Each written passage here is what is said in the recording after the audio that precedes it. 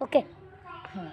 जैसे कि हम लोग देख रहे हैं कि आजकल दुकानदार जो है पॉलीथीन का और कागज़ के बैगों का कम इस्तेमाल कर रहे हैं, जिसके चलते ज़्यादातर जगहों पर पॉलीथीन यूज़ हो रही है।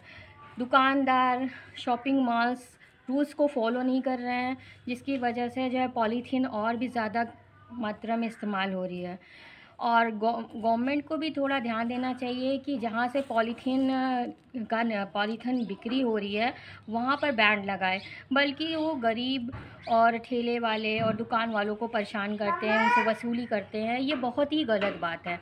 जबकि जो मेन मुद्दा है, मेन बात है कि पॉलीथीन इस्तेमाल ना हो तो इसके लिए सबसे पहले तो उन कंपनियों को बंद कराना चाहिए, जो जो कंपनी इन पॉलीथीन को बनाने का कार्य कर रही हैं।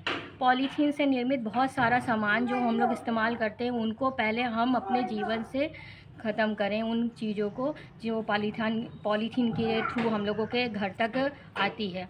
और पॉलीथीन देश के लिए बहुत ही बड़ा अभिशाप है और हम लोग इसके लिए इसका निपटारा तभी कर सकते हैं जब जब हम पूर्ण रूप से इसको करने की कोशिश करेंगे। धन्यवाद।